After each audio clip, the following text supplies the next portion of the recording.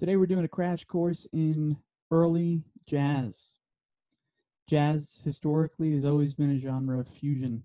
The genre emerged when musicians combined styles of early American musics, combine them all together. You can check out the overview on those early American musics by seeing the lecture called Early American Music. Ragtime notably fuses with march music, Tin Pan Alley compositions, and the blues. Some jazz pioneers would call this new style ragtime because jazz, however you spelled it originally, J A S, J A S S, and J A Z before it was ultimately J A Z Z, was a slang word. According to Sidney Bechet, it meant screwing.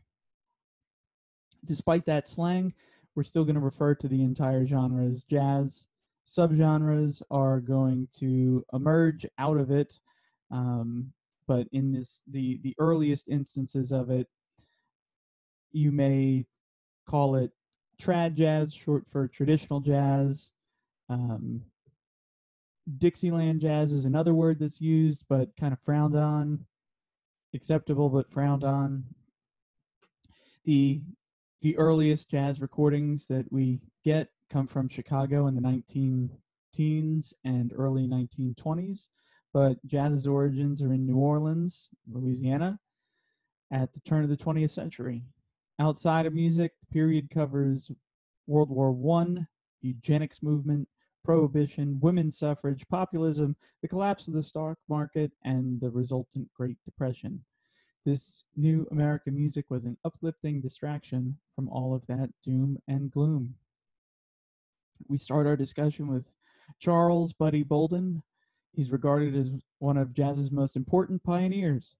Bolden is said to be the first trumpet player to play the blues on a brass instrument. A master improviser, he incorporated sounds from blues and gospel music into marching band and ragtime music. If any sonic recordings of Bolden ever existed, they were most likely never commercially distributed. Bolden's popularity halted in 1907 when he was diagnosed with schizophrenia and was admitted to the Louisiana State Insane Asylum, where he spent the remainder of his life. Much of the information regarding Bolden's life has been told through oral tradition, where many facts are mixed with fiction. With zero recordings of Bolden to support the claims of fusion, we are left with the legend of Buddy Bolden. Before digressing, we'll mention a controversial number from Bolden's repertoire called Funky Butt. Willie Cornish, the trombone player in uh, Buddy Bolden's band, claimed to be the songsmith. The tune contained then offensive lyric content and was later recorded by other musicians under the title Buddy Bolden's Blues or I Thought I Heard Buddy Bolden Say. We'll listen to just a little bit of that as performed by Jelly Roll Morton.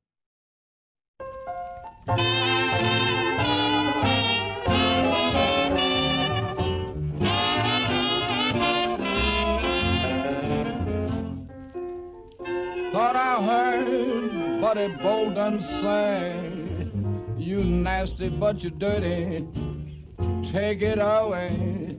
You're terrible, you're awful, take it away. I thought I heard him say,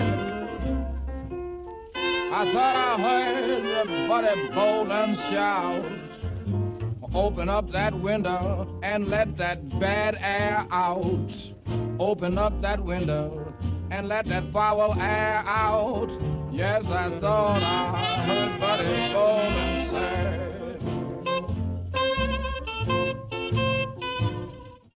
All right. Uh, we'll talk a little bit about Ferdinand Jelly Roll Morton. He falsely claimed to invent jazz all by himself. He was a mischievous child in New Orleans. He enjoyed a good night fight he worked as a pianist in a brothel at the age of 14, where his nickname Jelly Roll came from. Should go look up what Jelly Roll was slang for in the early 1900s. Won't announce it in this video lecture. Like Bolden, Jelly Roll Morton improvised over ragtime. That part we won't uh, argue with. He was definitely one of the first improvisers that utilized uh, not just improvisation but early swing rhythms and blue notes. We can hear that demonstrated in his rendition of Maple Leaf Rag.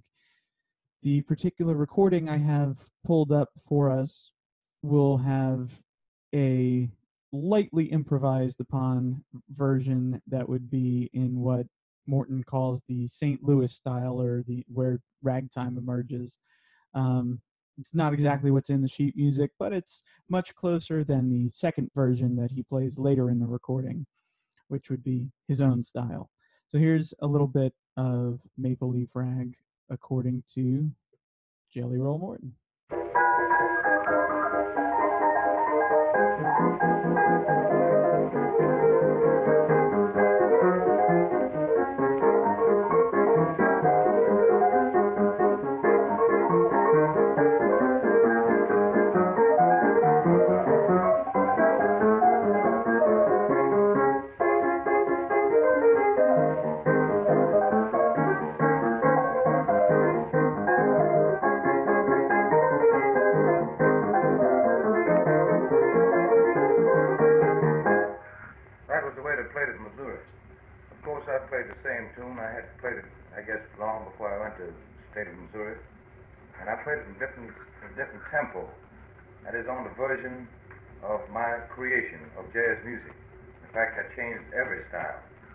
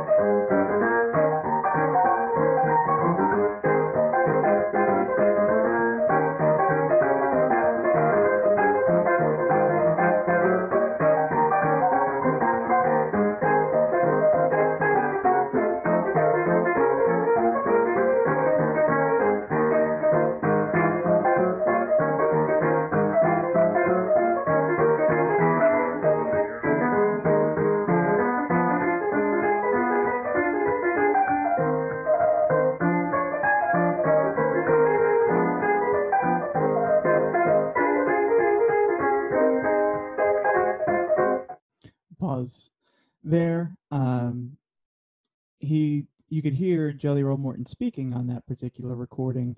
This is from the Library of Congress recordings. He he did a interview uh, session that in in the 1930s where he was um, being asked about how he invented jazz and uh, what what all happened, and they asked him to tell the story, and that's where he uh, kind of embellished on a lot of facts and turned them into his own favor, uh, saying that you know the the early New Orleans improvisatory style was his own his own invention.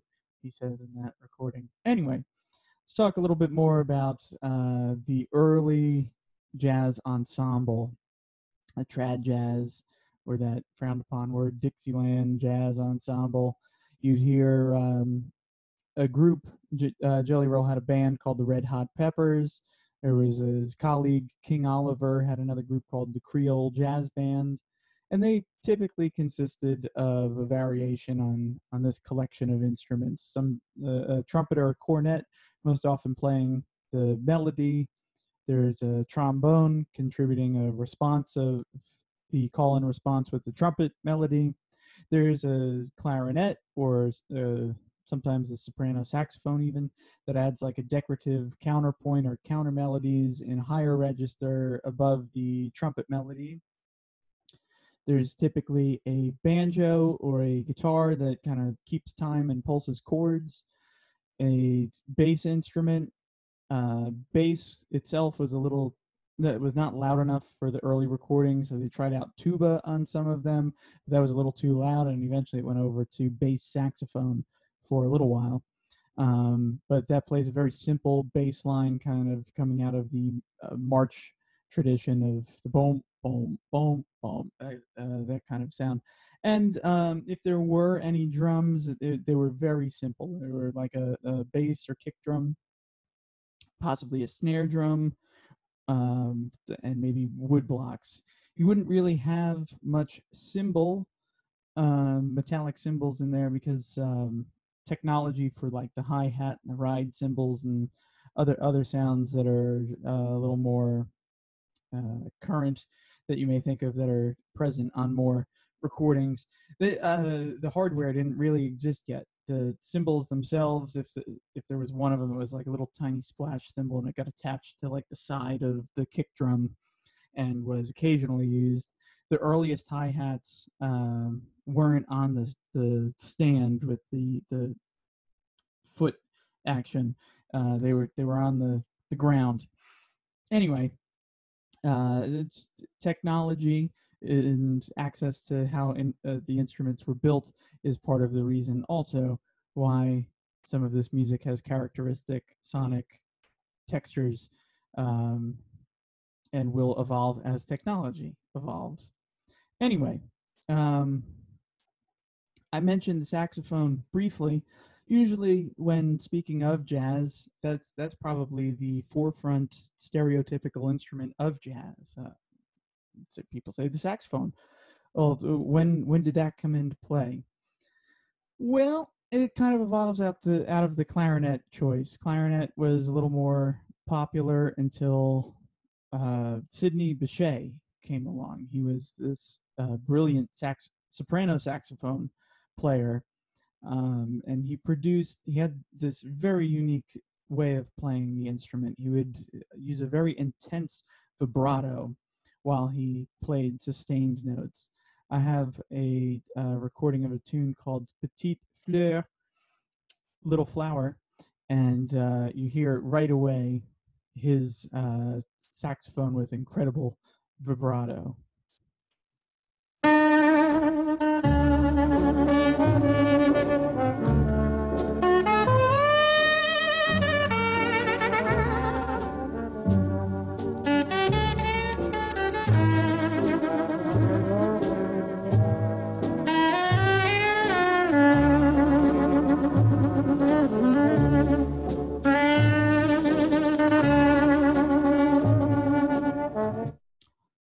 Vibrato, Batman.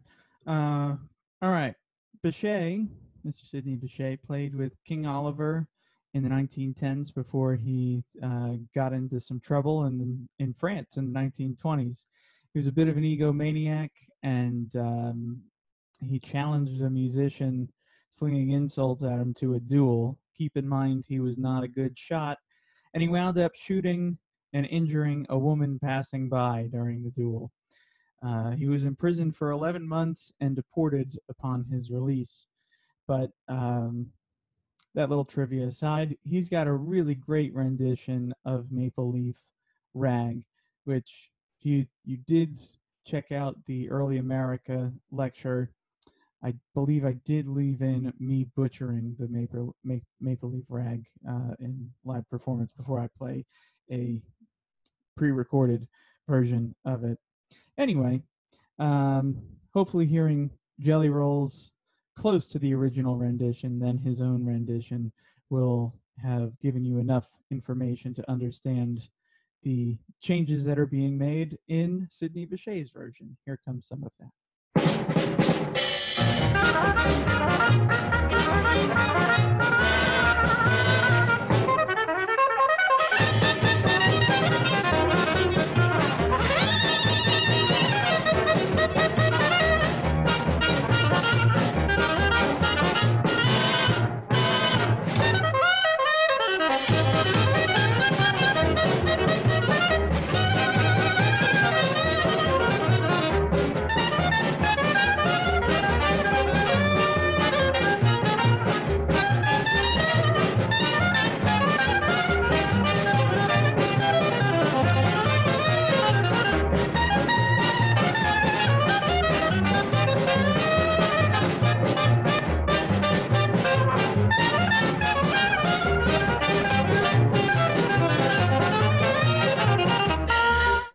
Great fun from Sidney Bechet on the Maple Leaf Rag. Up next, uh, we're going to talk about a man with many nicknames Satch, Satchmo, Satchel Mouth, Dipper, Dipper Mouth, and ultimately Pops. Louis Armstrong is one of the most influential figures in the history of jazz. He laid the foundation for jazz to become a soloist art form, defined swing rhythms, accidentally invented scat singing, and played higher notes on the trumpet than anyone else at the time. His groups, the Hot Five and the Hot Seven, served as vehicles for jazz transformation. Louis Armstrong was born in New Orleans. Uh, he began his, his musical career singing in a pseudo barbershop quartet. The members of his singing collective uh, could not read sheet music, so they improvised harmonies over Tin Pan Alley type songs. Armstrong particularly enjoyed singing Stephen Foster's Old Folks at Home, in this style. Armstrong believed all of his music, vocal or instrumental, was rooted in this singing style. The majority of Louis Armstrong's nicknames emerged in his youth. He would use his lower lip as a pocket. His pants had none, or there were holes in the pockets. And he would find loose change in the gutters of New Orleans streets and stash it in his lower lip. When Armstrong was just in his preteen years, he fired his father's gun without permission and uh, wasn't directed at anyone. He fired this gun during a New Orleans, uh, a New Year's Eve celebration. He was arrested on the spot and sentenced to detention at the Colored Waifs Home, a reform school where he picked up his first horn. After his relief from the reform school, he found work on a riverboat where he learned to read music and expanded his music networking connections.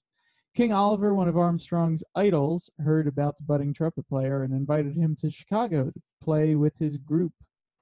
Two trumpets in one group was not common, but the pair made it work by playing in harmony with each other. You can hear them playing together on Dippermouth Blues. Here's a little bit of that.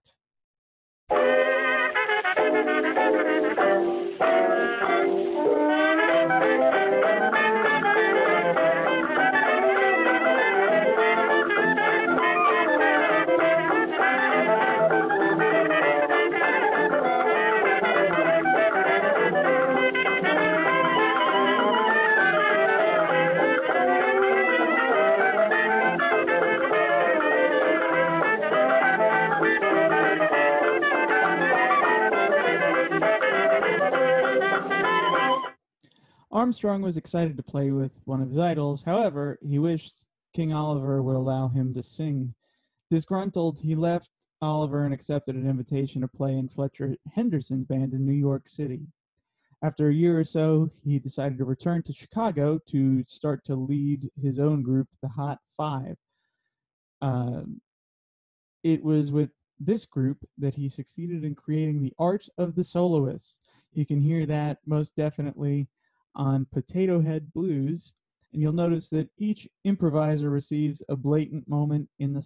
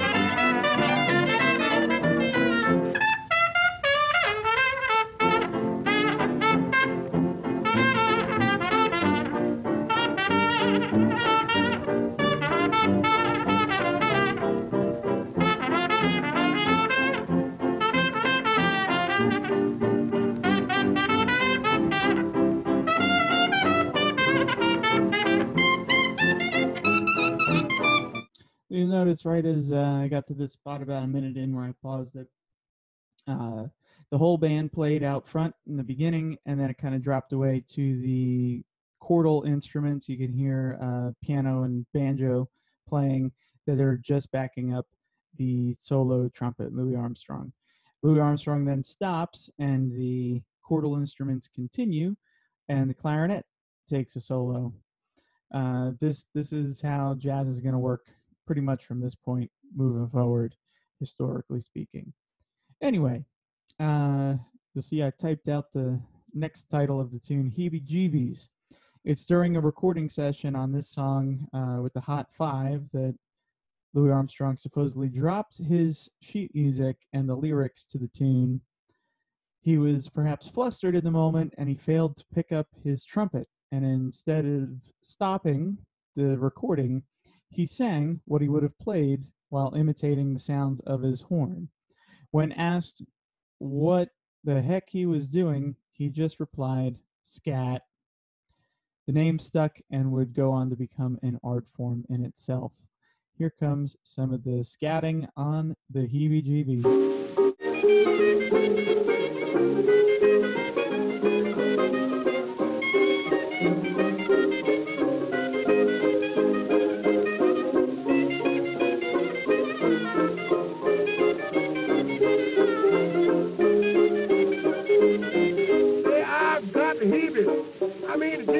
talking about. So that's the heebie-jeebies you see, gonna say, boys. They with a little bit, joy. Say, don't you know it?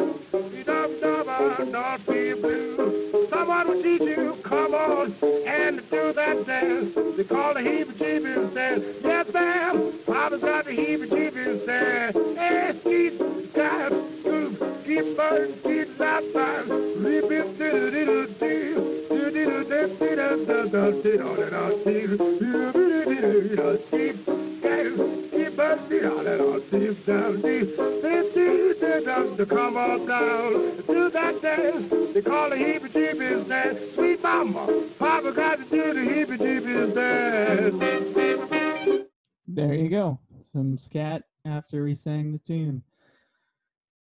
These recordings that come from uh, the Hot Five and the Hot Seven exhibit the definitive swing style along with Louis Armstrong's virtuosity on the trumpet. If you're not convinced that he was a master trumpet player yet, just listen to the introduction on West End Blues.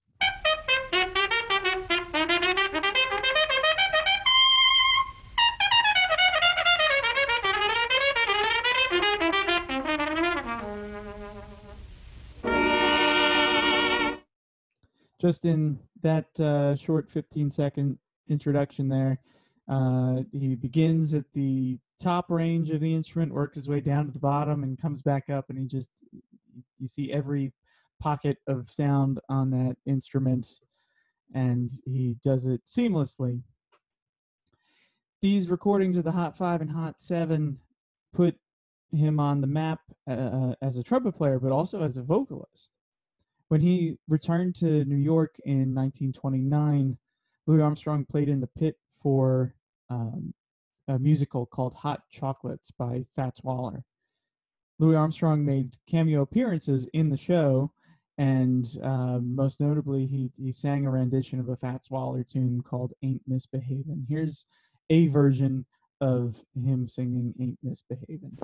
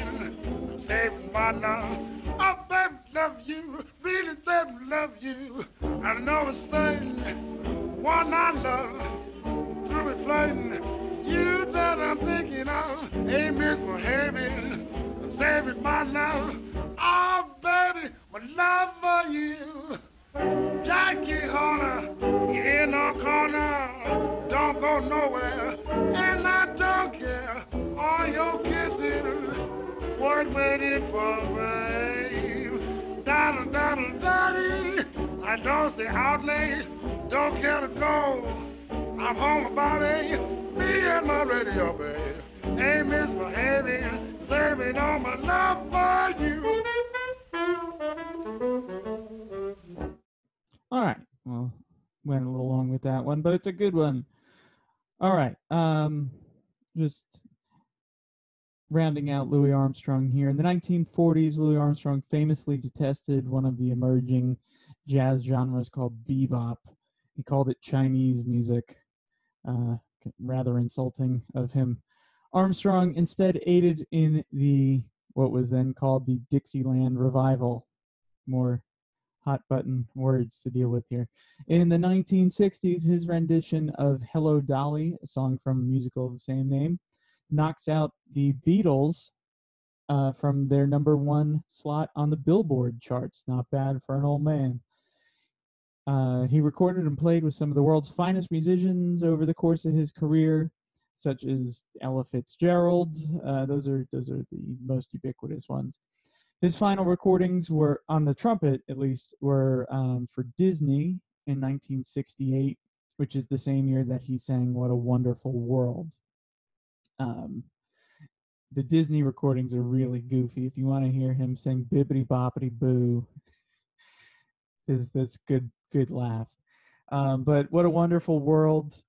That's that is the uh, most well-known recording of Louis Armstrong. It's not considered jazz. There's no improvisation. It's just a ballad that that he sings um, in the Louis Armstrong voice with strings and a choir and you know it's a pretty song, but it's not what we would consider to be a jazz recording, even though it stars a jazz artist. All right, moving on from Louis Armstrong, we talk about a couple other things that were happening. Uh, a movement for dancing. During World War One, James Reese Europe led a group called the Hellfighters. Uh, they were the 369th Infantry Band. Under James Reese Europe's direction, the Hellfighters introduced Europeans to American ragtime. Before the war, James Reese Europe was well established. His 125 to 150 piece chef, uh, Clef Club Orchestra was one of the first jazz bands to perform at Carnegie Hall. Europe's Clef Club was the first recorded African American group. They recorded for the Victor label in 1913. These recordings were not marketed as jazz, but as ragtime. Their recordings made them the recordings themselves were far from Scott Joplin's ragtime and much closer to Sidney Bechet's ragtime, though much more symphonic. That same year, Europe, James Reese Europe, became music director for a husband and wife dance team, Vernon and Irene Castle. Dancing to ragtime was controversial until this particular couple, described as the least sensual dance team in the world, broke through racial barriers and danced the foxtrot along with other various dances to James Reese Europe's ragtime music. There is a piece that helped make ragtime dancing acceptable, uh, named after them, called the Castle House Rag. Here comes a little bit of that.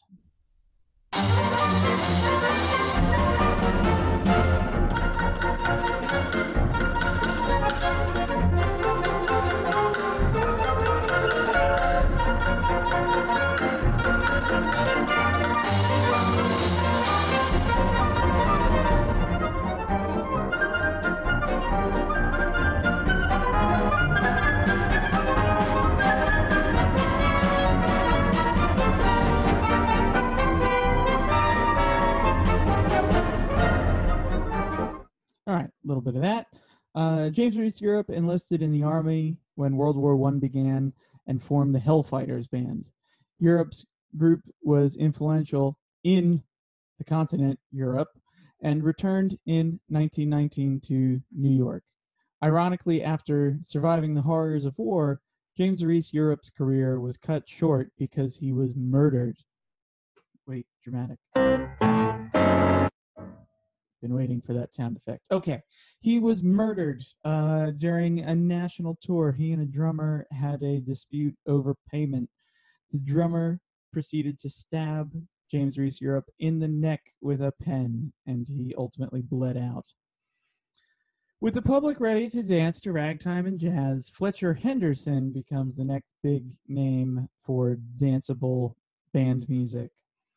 Fletcher Henderson pared down the size of his band and would lay the foundation for what would ultimately become a big band, utilizing primarily sections, groups of trumpets and saxophones.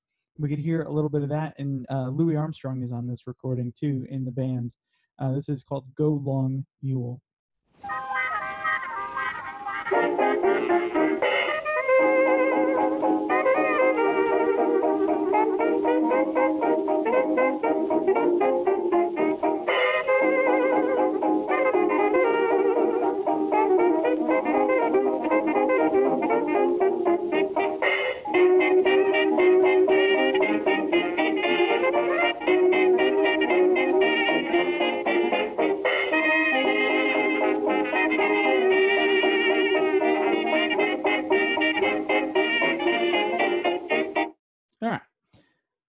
Fletcher Henderson hired the best in the business, like Louis Armstrong, but his success as an orchestra leader was limited. The racial attitudes of the period, compounded with rivaling white dance orchestras, prevented Fletcher Henderson from finding work outside of Harlem. Henderson also struggled because the talented musicians that he employed would not stay for long, like Louis Armstrong, who only stayed a year in that group. Perhaps the most frustrating battle was with the commercially successful rivaling white dance orchestras that claimed to be performing jazz. But I'm going to show you a couple examples. They they weren't. So, um, fake jazz. What the heck is fake jazz? Well, Sidney Bechet was the musician who claimed that the title jazz was slang, insisting everything he played was ragtime. So where did the word jazz come from and why is it the definitive title? Backstory In 1916, a Chicago promoter assembled a group of musicians to play in a quote unquote New Orleans style in and around the city of Chicago. The group was called Stein's Dixie Jass Band, jass with two S's, jass, attracted attention and they were called to New York to record in 1917.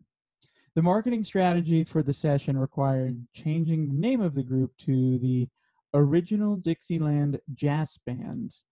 Later, the word jass was changed changed to jazz, and uh, this was to promote selling a novelty record. Surprisingly, the record was a hit and the name stuck. So that hopefully answers those questions. This particular 1917 record sounds like a pale imitation of King Oliver's group. Remember him from uh, the Louis Armstrong thing a little bit earlier with the Dipper Mouth Blues? The unfortunate social issue regarding skin tints prevented King Oliver and Company from recording at the same time in the year 1917. The issue has robbed us of the opportunity of ever legitimately being able to compare one of these groups to the other. We instead must make our comparison using recordings of King Oliver from the early 1920s. Just a little refresher here is what the Dipper Mouth Blues sounded like. Uh, I believe this is from 1922.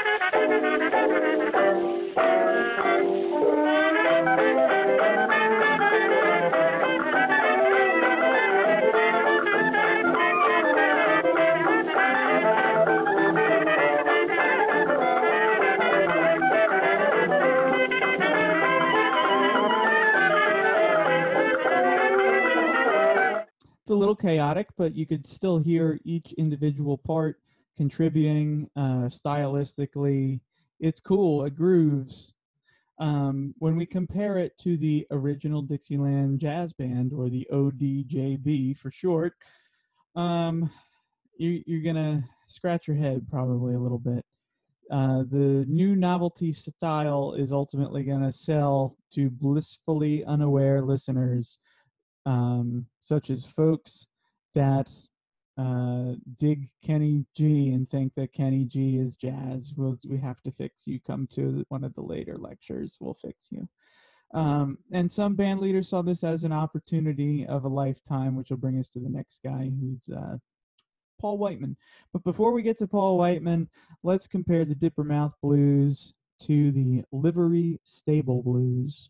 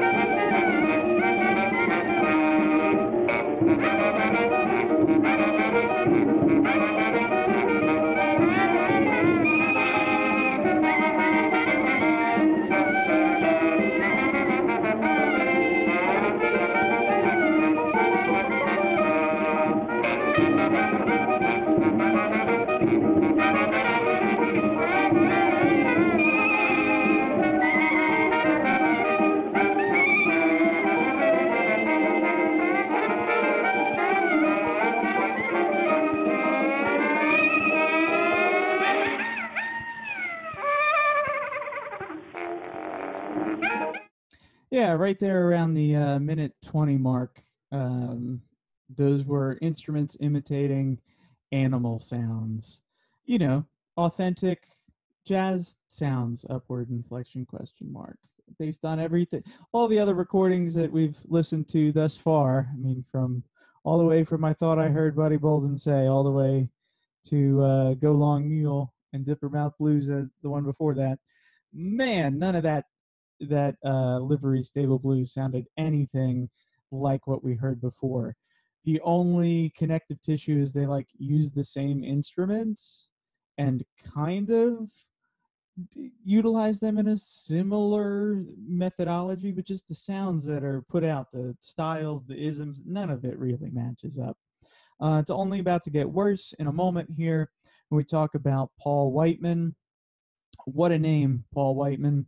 Ironically, this white man would springboard off the success of the original Dixieland Jazz Band and become the name in jazz. As a marketing ploy, he was literally crowned the king of jazz. Modern listeners familiar with the sounds of jazz know that the genre's title is awarded to music containing improvisation and the swing rhythmic feeling. The music from Whiteman's catalog, most of it contains neither, yet this dude got crowned the king of jazz. The issue with the distinctions lay in timbre. Whiteman's orchestra utilizes instruments commonly used in jazz. However, this is not enough to earn the label, just like the original Dixieland Jazz Band. We're going to listen to um, Fletcher Henderson just to really drive home this point. Fletcher Henderson, we're considering that real jazz. Here's a little bit of Go Long Mule one more time. Bye.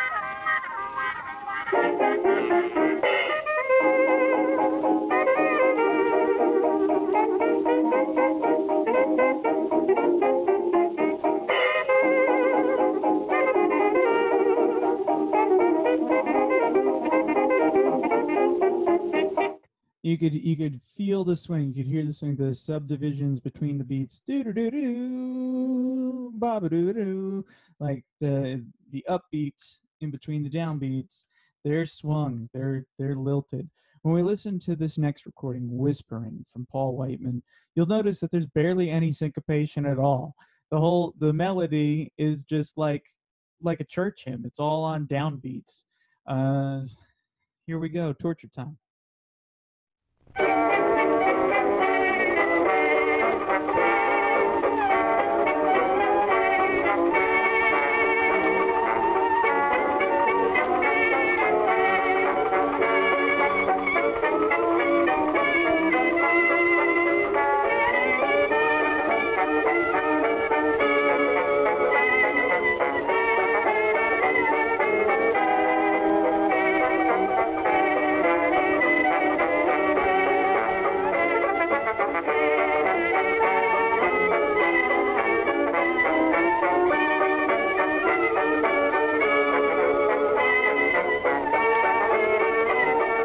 If I fast forward a little bit, uh, if you thought that was bad,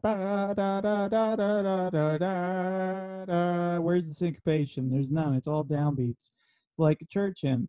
Um, there's a there's like a slide whistle or or something um, that plays the melody in a bit. It's real awkward. Here comes.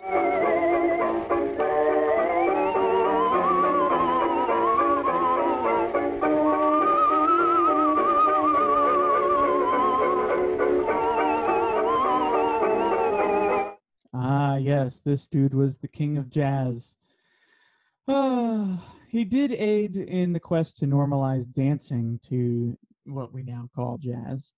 In the wake of James Reese Europe and the Castles, uh, Whiteman's dance orchestra would pave the way for the coming big band and swing era. Uh, a lot of danceable music there. Paul Whiteman also hired some fine musicians like Bix Beiderbecke, Jack Teagarden, and Frank Trumbauer, um, he wished to hire black musicians, but that idea was shot down by his managers because racism. Um, perhaps Paul Whiteman's most notable hire was George Gershwin. George Gershwin uh, was not really taken seriously for a long time because he was just seen as this pop songwriter in the Tin Pan Alley world writing these tunes until he wrote the Rhapsody in Blue, which was uh, premiered by Paul Whiteman's group. After this piece, which featured George Gershwin at the premiere playing piano himself, the composer was at the piano. Um, everyone started to go see what else Gershwin wrote and then started taking the Tin Pan Alley compositions very seriously. So if you've never heard Rhapsody in Blue, here's a little bit of the beginning of it. Starts with this very famous uh, clarinet scale and glissando.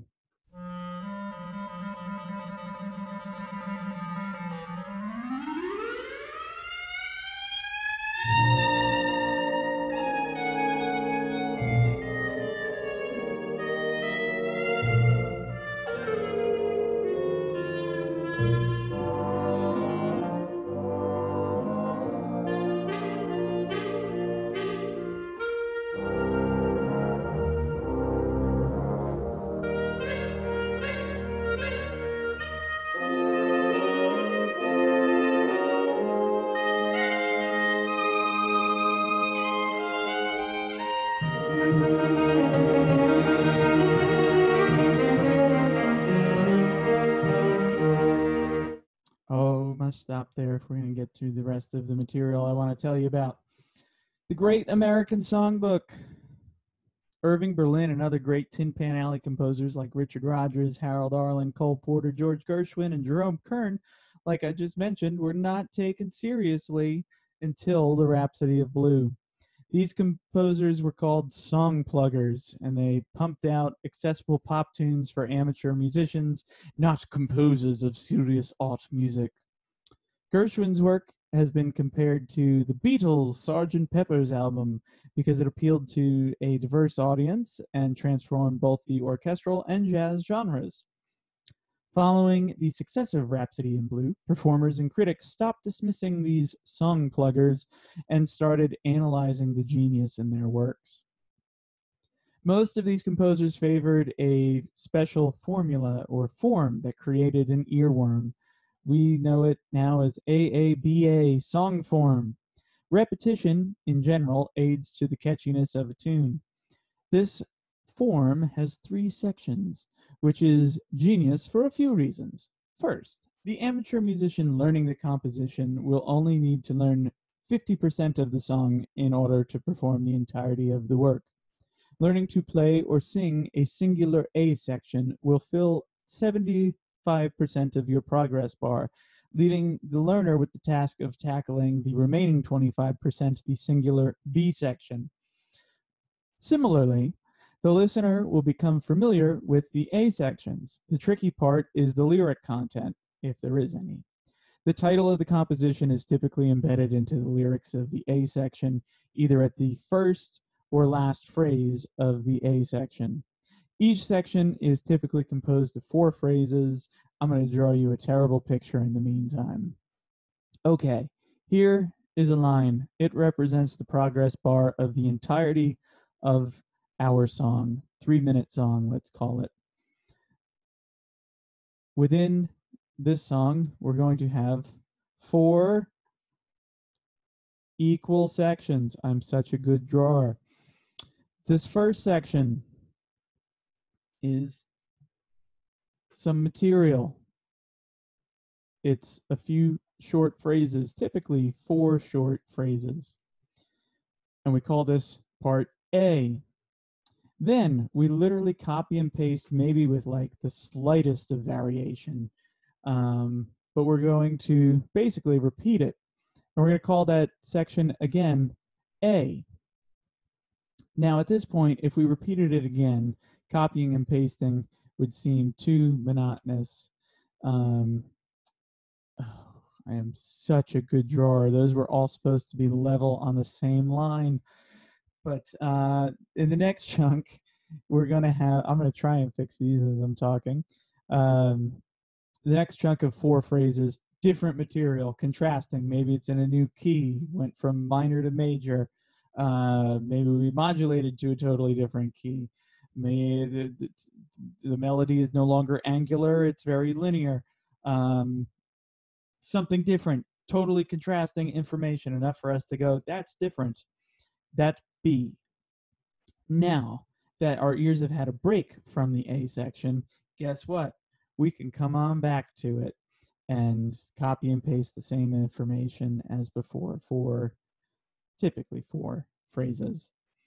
Um, more on this in a second. In the instance that the song is to be performed instrumentally, the performer typically provides clues for the listener that we've begun our repeated section again. Instrumentation or orchestration are the easiest clues to hear. So if I played a tune for you, say like Ain't Misbehavin'.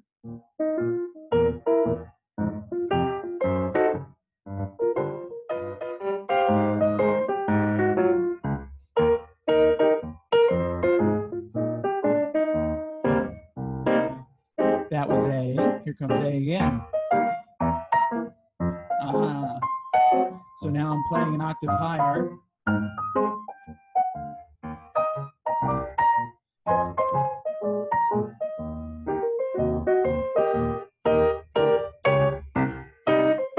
Ooh, it's minor now. We're in the B section.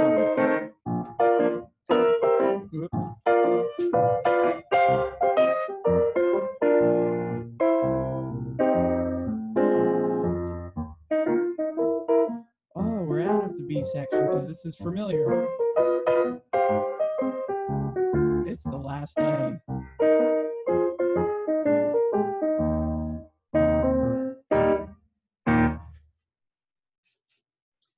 There we go. So, um, I used a little trick for that second A section to let you know that it, something was was new and different. I went up an octave with my right hand and played the melody an octave higher. Uh, when I got to the B section, composer did the work for me. It goes to a minor key at the beginning of the B section before we get out of that and transition back to the final A, the familiar material that you've heard twice before. Um, what else do I want to tell you about hearing these things? Besides instrumentation and orchestration, solo performers, like I just did for you, might change registers, another word for what I did, uh, maybe fill out denser harmonies um, between those A sections just so that you can hear when we are in the tune. The B sections are typically designed, pre-designed by the composer to sound completely different from the A section, so the player doesn't really have to worry about that, um, generally speaking. And I'll mention again the angularity of melodies, whether they skip from low to high or high to low very quickly. We call that angular versus linear, where it moves in stepwise or stays very close together. Um, motions. These um, use of that kind of construction of a melody will either exist in the A section or in the B section. You'll see one or the other just to help really drive home how different everything feels. Composers started really um, going nuts with the difference between the A sections and the B sections, having fun with it when it started to feel too constricting that you had to do the same things all the time. We turned to like Duke Ellington in the tune Caravan. he switches from like a Latin feel in the A sections to a swing feel on the B section. So he completely changes the feel. And if you can't feel the change, oh, then you're not listening. All right. Um, examples of songs that utilize the AABA construction. Putting on the Ritz, we listened to um, in the previous lecture, the Early America lecture. Over the Rainbow for fans of The Wizard of Oz. Blue Moon, which I believe is in Grease, Um, Anything Goes, Broadway tune. Um, the Way You Look Tonight, that good old Frank recording, but there are a lot of recordings of that. Um, or I've Got Rhythm from Gershwin. All these fit the bill. The, there's a longer list, and if you dive further into music's history, you'll see that composers and songwriters uh, that listened to this stuff used it in their own writing. Like in the 50s, Sam Cooke really liked all this stuff, and his song "You Send Me" is in AABA form. And uh, Frankie Valli and the Four Seasons liked these composers, so their songs like "Sherry" and "Big Girls Don't Cry" are in AABA form. Uh, we start to drift away a little bit from AAB form as we leave the 60s, but that's for lectures later. Now, I do have to note one more thing about AABA and the entirety of a three minute song. Doesn't really quite fit the bill. It's a little bit um, different. You would you would see your three minute song here, and this whole pass through AABA probably happens on average about three times in a three minute recording. So each A, A, B, and then A is about 15 seconds long most of the time. Uh, most medium swing style recordings. We'll talk about reasonings why re- records are three minutes in a later lecture. Talk about record construction themselves. But instead of calling this form AABA, AABA, AABA, we just shorten it to one instance of AABA or song form. So, um, final note on this stuff the songsmiths composed for both the stage and the screen, um, but both Jerome Kern and George Gershwin notably contributed stage, work, stage works that helped destroy minstrelsy. Um, Showboat from Jerome Kern, Jerome can't speak today. Jerome Kern was the first racially integrated musical, and Porgy and Bess from Gershwin featured a cast of classically trained African American vocalists. We're going to talk about Broadway musicals later. For now, we got to talk about piano players because I mentioned in the beginning of all this, can't forget about current events, things that are happening. Prohibition, um, uh, that is going on from 1920 to 1933. It's the 18th Amendment, uh, the Volstead Act. It prohibits the sales of sales and consumption of alcohol until the 21st Amendment shows up repealing this. The act did not stop the sales or consumption of alcohol. It made it a law, didn't do anything. The Roaring Twenties saw the rise of organized crime, bootlegging, speakeasies, and a thing that we're going to call a rent party, which is kind of on par with a college fraternity party, often a multi apartment collective effort, guests pay to cover to enter, consume alcohol, and be entertained. It's a rent party. In Harlem, rent parties competed with one another. The victors booked entertainment. Limited space proved that pianists were the ideal entertainers. These pianists tried to emulate the sounds of an entire band by themselves, and stride piano technique would yield such results. Stride piano playing 101. Left hand has a workout to do based on uh comes out of the ragtime and march tradition where you have umpapas with low notes alternating with chords.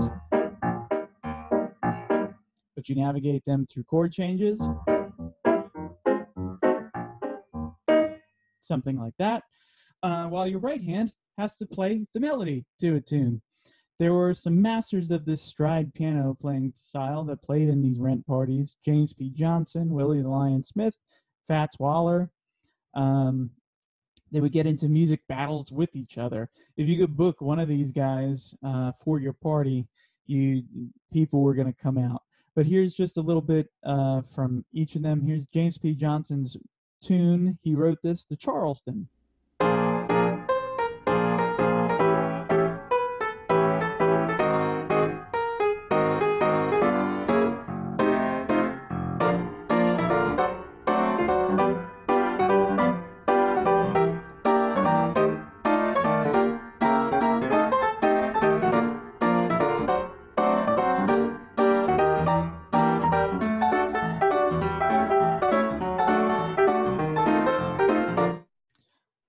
His colleague, Willie the Lion Smith, playing the same tune.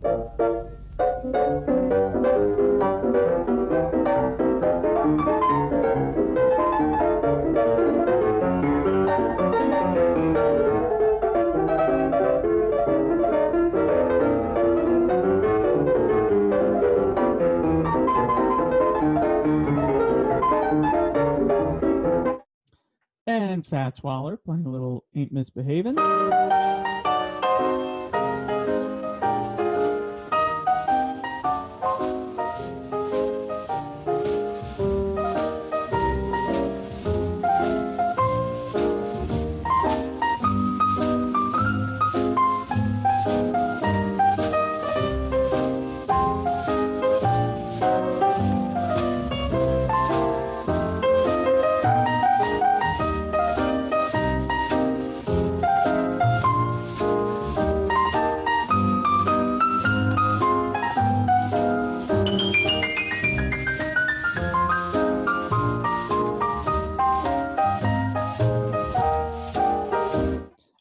Love that last little passage uh, as the second A section before we move to the B section of Ain't Misbehaving on that recording.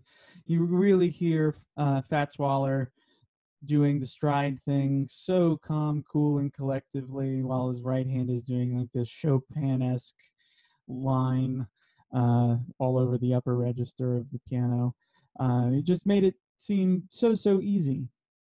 Um, you know, it, speed certainly is a factor in virtuosity of uh, the stride piano playing. And these three guys, Fats, uh, the Lion, and James, they all hung out together and egged each other on and pushed each other to become better players. And they attracted some younger pianists like Count Basie and Duke Ellington um, and showed them a thing or two. And those guys went off and took what they learned and did their own things with it. We'll talk about them in the big band era. But um, interestingly, there's a famous piano battle that incorporates a young, mostly blind piano player. He's like 90% blind, Art Tatum. Art Tatum um, is considered the best jazz pianist that ever lived. He fused stride piano playing along with boogie woogie piano playing, which is not um, the most impressive style, but it attracts a lot of listeners very easily. It's uh, it comes out of the blues tradition. You hear left hand piano playing. It does not do the stride thing, but it gets people excited when they hear. And then the right hand plays chords or melodies.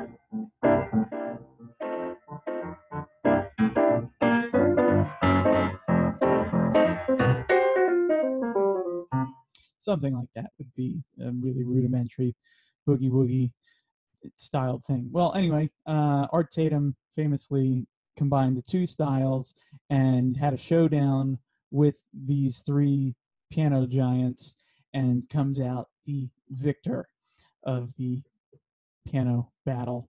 Anyway, um, let me play you a, an actual boogie woogie piece. Um, not me, but a guy named Meade Lux Lewis, I have a tune called Honky Tonk Train Blues, and he'll do a much better job as he's one of the pioneers of the genre. All right. Um, must talk about one more piano player, kind of bookending things here. We go back to the beginning, talk about Jelly Roll Morton one more time. His piano playing definitely served as an evolutionary stepping stone for both stride and boogie woogie piano playing styles and in the uh, 30s, when he went to the Library of Congress, um, we talked about his Maple Leaf Rag recording, but there's another one, um, the more boogie woogie influenced one called the Dirty Dozen. The the dozens themselves, if you've never heard of this, is a precursor to Yo Mama jokes. And the dozens originated as a game trading verbal insults until a pianist named Speckled Red introduced a musical rendition that got called the Dirty Dozens. In live performance, Speckled Red was notorious for overwhelming vulgarity, but in recorded performances, he turned it down down a notch. We have to remember about there were censors and all sorts of things that you could not do. Anyway, Jelly Roll Morton claims to have heard the song in passing, but um, he performs a rather vulgar rendition for the Library of Congress. Um, left out a lot of the vulgarity that could have happened in this lecture, but now we're going to end it with some some bad bad words. Um, this is all important because it's going to pave the way for later genres like hip hop and rap. Anyway, here is the Dirty Dozens. This is a Dirty Dozen. I really think this originated in Chicago. I heard this tune about 1908 when I happened to be in Chicago. It seems like uh, Chicago had been uh, started to be a beginning to be a freakish center. It seems like there was a lot of sayings about what different people would be doing in an uncultured way and the sex appeal. So I heard that song then. Home, you dirty motherfucker, the old cocksucker, you dirty son of a bitch, you bastard, you everything. And your mama don't wear no drawers. If you're giggling, it it gets uh, it goes on on this recording uh, about who doesn't wear their underwear. Anyway, uh, if you like that one, I encourage you to go check out the Winin' Boy uh, and Boy Blues from from Jelly Roll. We're gonna wrap uh, today's early jazz discussion there, and we will look for uh, the thing that comes next chronologically. Uh, this early jazz transforms with the dance music into big band music, so be on the lookout for that lecture. Till then, see you next time.